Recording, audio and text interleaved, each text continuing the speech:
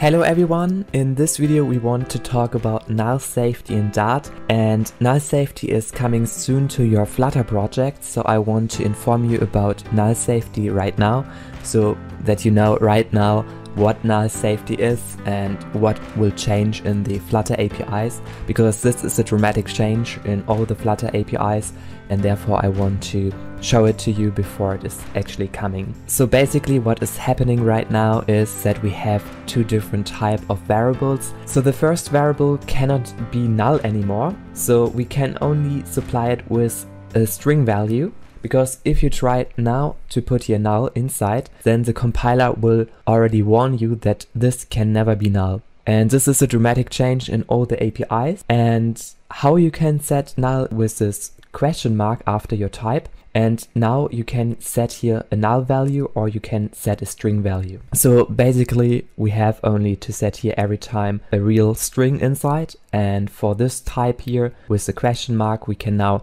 say okay we will have here null or a string. This will change a lot and now the first question might be how we can convert one type of the variable to another type. So let's look at this example for example to make the conversion from this type to this type. And basically this value here can be null or a string. And this can only be not null. So this needs to be a real value.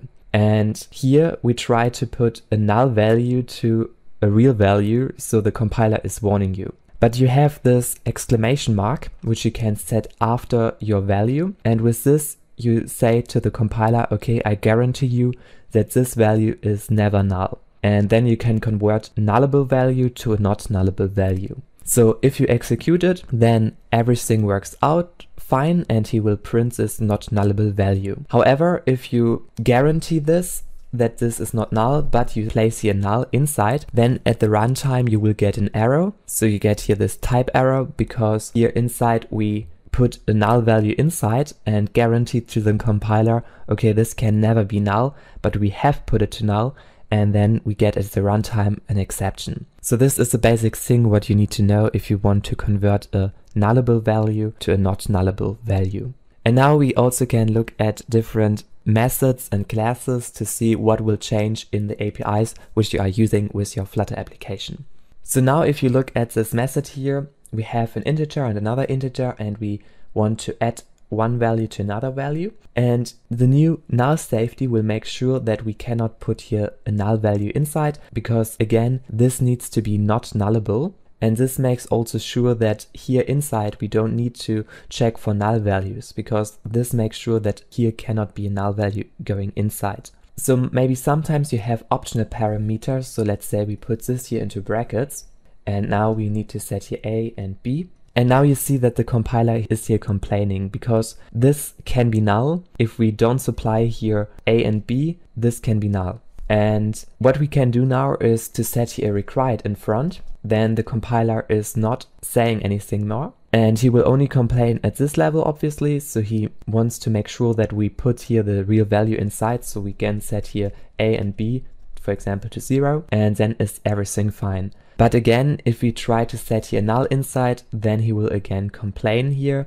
at this level because this new type can never be null and therefore we cannot put it here inside. Instead of the required in front, we can also set something like a default value. So if he's complaining that this can be null, then we can also set here a default value, for example, to zero and this one to one. And then everything is also fine. And we also don't need to set here these values because it is not required anymore.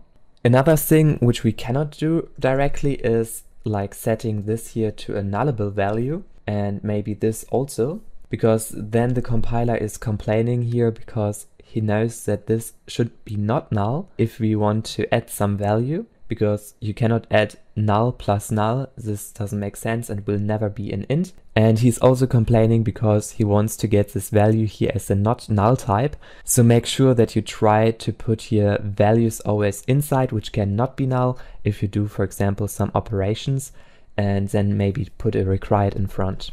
So this required makes ensure that you care about this at another level and you don't need to check here if the value is actually null or not. If you have, for example, a method where you put this question mark inside, so you say, okay, this can be a null value, Then if you try to access some attributes or some other methods, then here, here the compiler is again complaining because this can be null and therefore maybe he gets here this null pointer exception and the compiler will warn you that you should handle this here. So what you can do is to put here a question mark in front and now this says, okay, if this value is null, then I just put here a null value inside into this print method and he will simply print null. And if this is not null, then we want to execute this statement after. So we want to access this even attribute. And now we executed here, for example, this application and you see he will access this is even value because this is returning a boolean and therefore he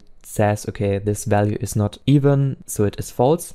However, if you want to set here a null value inside and run it again, then he will also print the null value into the console because he will put the null value with this question mark to this print statement.